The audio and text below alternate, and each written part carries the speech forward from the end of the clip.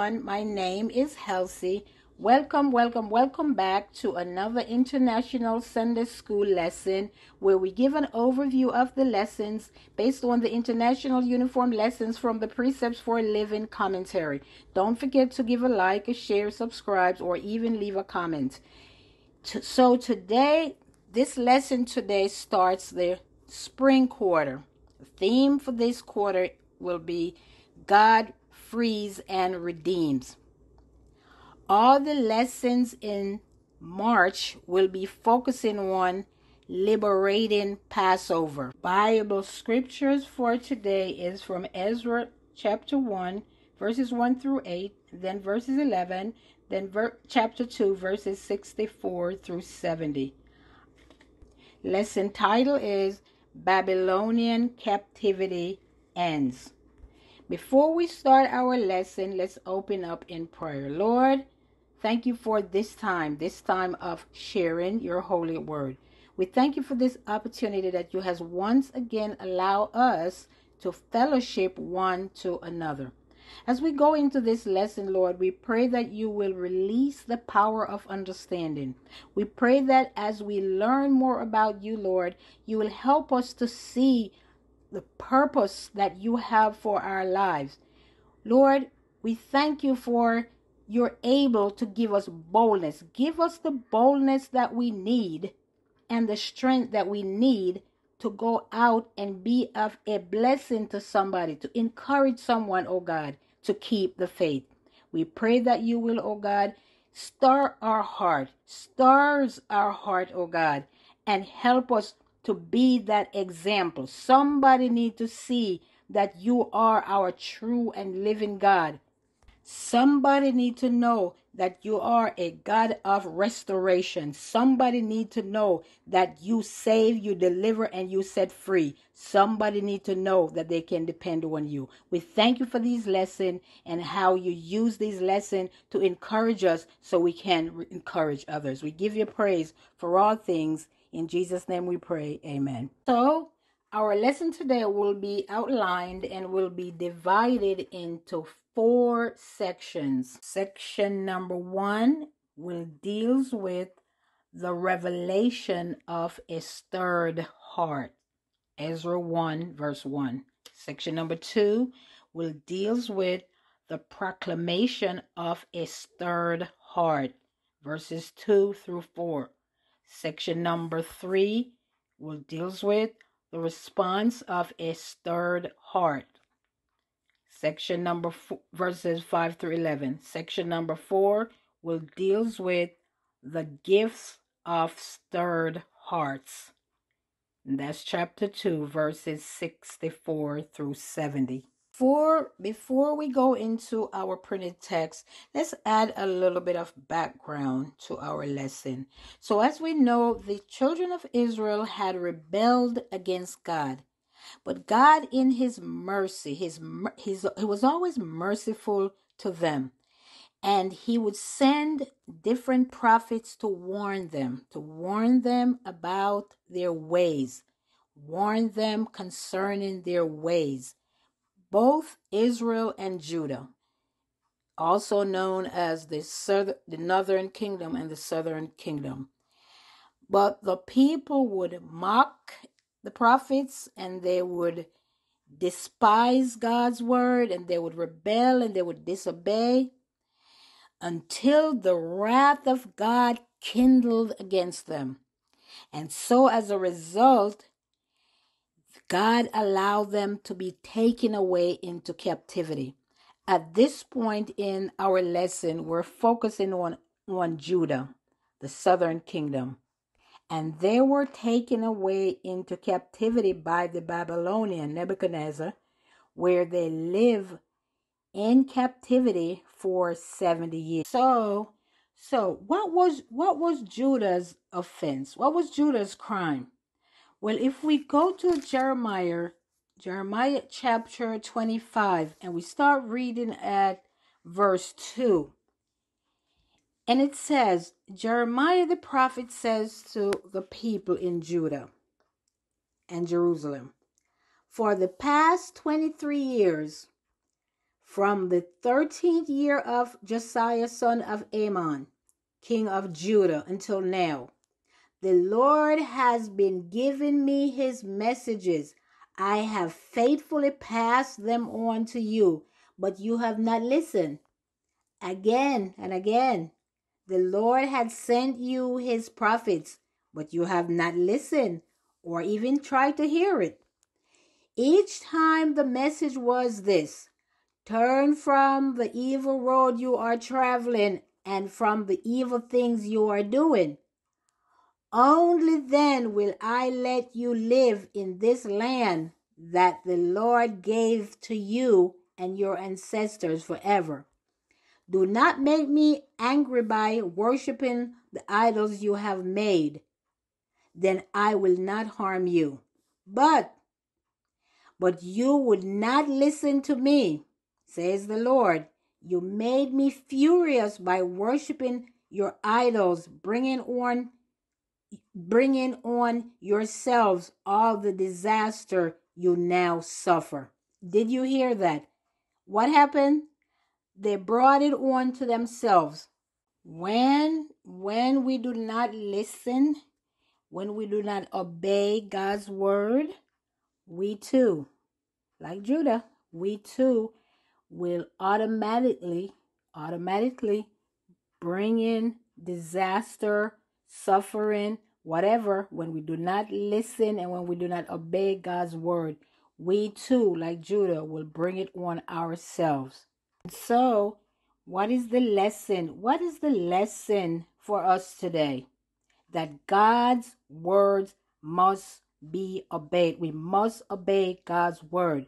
God's word is to be obeyed.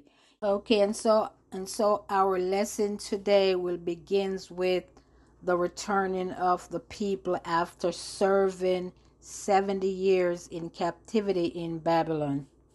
We will now look at section 1 and it deals with the revelation of a stirred heart. And that's Ezra chapter 1 verses 1. Start reading at verse 1. And it says, In the first year of King Cyrus of Persia, the Lord fulfilled the prophecy he had given through Jeremiah.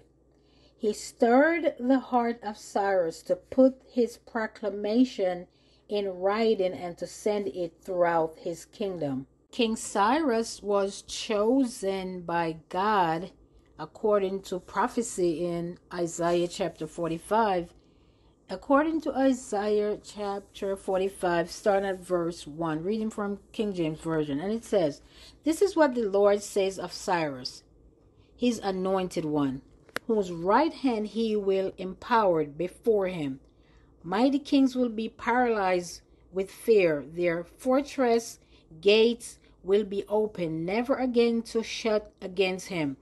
This is what the Lord says I will go before you, Cyrus, and leveled the mountains. I will smash down gates of bronze and cut through bars of iron. Jump to verse 4, and it says, And why have I called you for this work? It is for the sake of Jacob, my servant Israel my chosen one. I call you by name when you did not know me. I am the Lord, there is no other God. I have prepared you, even though you do not know me. So all the world from east to west will know there is no other God. I am the Lord, and there is no other God. And so, as we can see, God is faithful to his promise.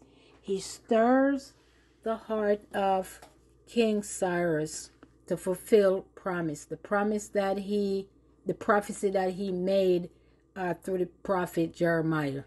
Scripture lets us know that the king's heart is like a stream of water directed by the Lord. He turns it wherever he pleases, and that's Proverbs chapter 21, verses 1. God has ultimate authority over every single ruler.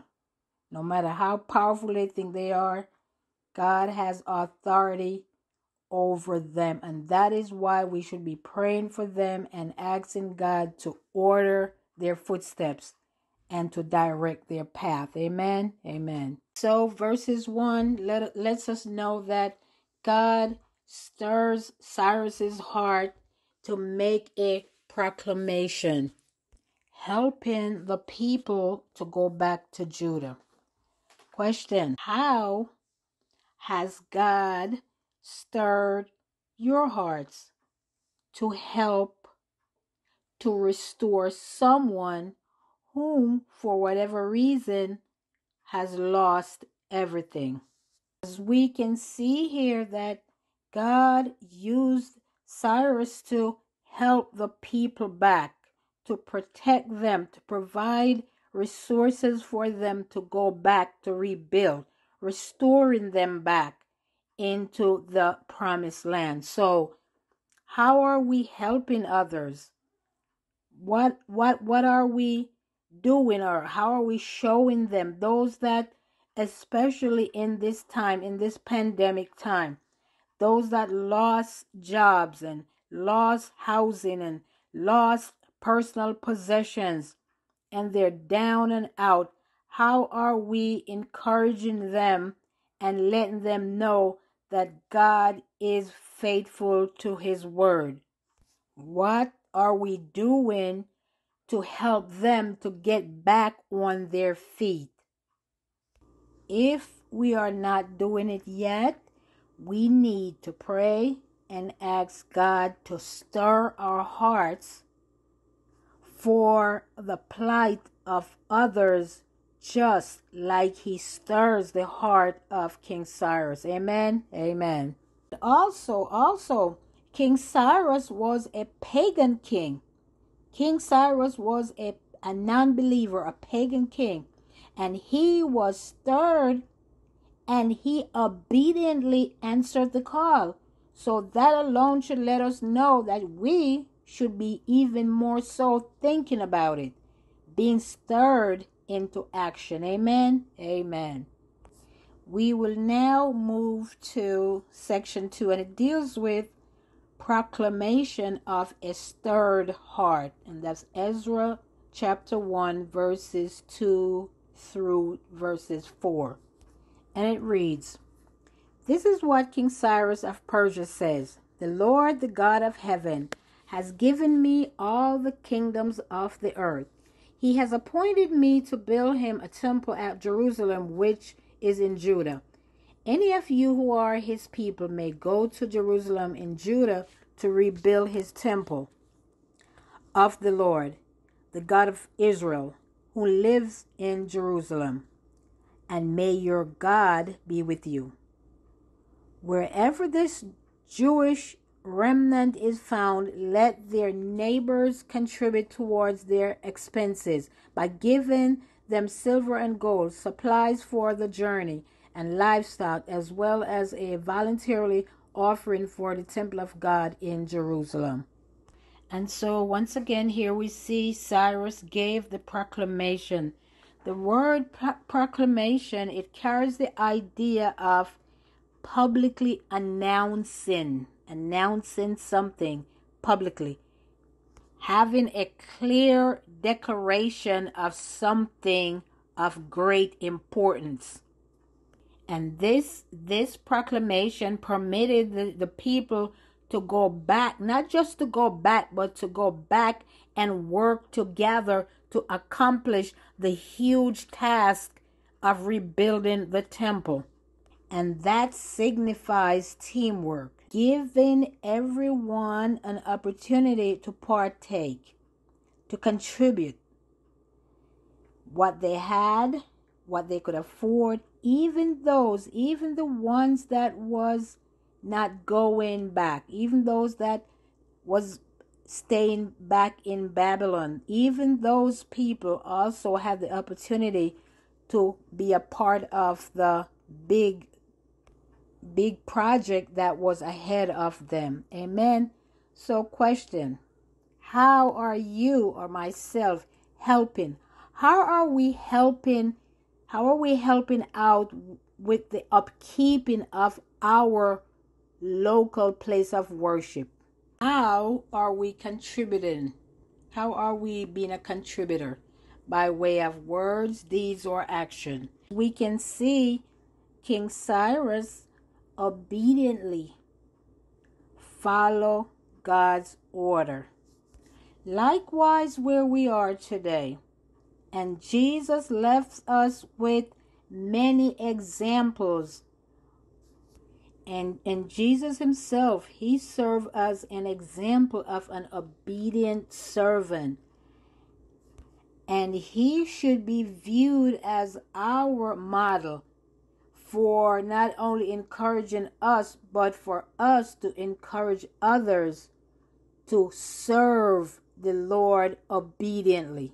In the book of Matthew, we'll go to Matthew, Matthew chapter 20, and we'll look at verse 28, uh, reading from New Living um, Translation. And Jesus here talks about his purpose of serving. And he said in Matthew chapter 20, verses 28 For even I, the Son of Man, came here not to be served, but to serve others and to give my life as a ransom for many. Jesus served others by rebuilding lives, by putting back lives together, by transforming lives. And that's what God was doing with Judah, using King Cyrus to restore back the people back to him restoring back that relationship that was separated restoring relationship serving one another. People of judah they returned back not just to rebuild building but more so more so to rebuild their lives to reconnect it back to their god to and to serve one another.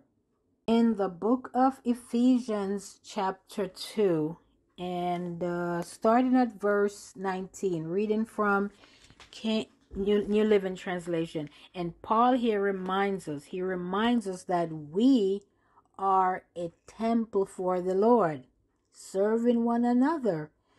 And verse 19 says, So now you Gentiles are no longer strangers and foreigners.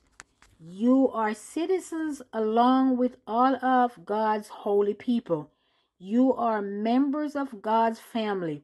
We are his house, built on the foundation of the apostles and the prophets. And the cornerstone is Christ Jesus himself. We whom believe are carefully joined together becoming a holy temple for the Lord. Through him, you, Gentiles, are also joined together as part of this dwelling place where God lives by his Spirit. And so here we can see Paul lets us know that God's house, the church, is not a building. The church is a group of believers believing in Jesus Christ. Jesus lives in us and he shows himself to a watching world through us. The world will see that God is love and that Jesus Christ is Lord as we, the church group of believers, as we live in harmony with each other in accordance with what God says in his word. Amen. We we are citizens of God's kingdom and members of his household. And again, again I'll ask in this time of pandemic and the new norm, we we should be making sure that we are taking time out to reach out to our brothers and our sisters and to give a helping hand by way of words, by way of deeds, or by way of actions. Amen. Amen. We will now look at section 3, and it deals with the response of a stirred heart, verses 5 through 11. It reads Then God stirred the hearts of the priests and the Levites and the leaders of the tribes of Judah and Benjamin to go to Jerusalem to rebuild the temple of the Lord. And all their neighbors assisted by giving them articles of silver and gold, supplies for the journey, and livestock. They gave them many valuable gifts in addition to all the voluntarily offerings. King Cyrus himself brought out the articles that King Nebuchadnezzar had taken from the Lord's temple in Jerusalem and had placed in the temple of his own God. Verse 8 Cyrus directed Mithredath, the treasurer of Persia, to count these items and present them to Sheshbazzar, the leader of the exiles returning to Judah.